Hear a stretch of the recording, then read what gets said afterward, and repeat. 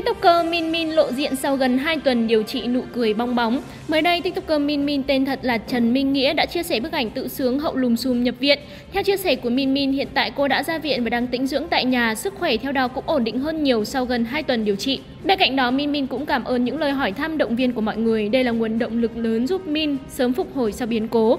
Trước đó, TikToker 3,7 triệu followers từng nhập viện vì ngộ độc khí cười. Thời điểm đó, Min Min cho biết bản thân bị ngộ độc khí N2O, một khí tạo cảm cảm giác gây cười, hưng phấn được sử dụng trong bóng cười nên phải nhập viện cấp cứu điều trị.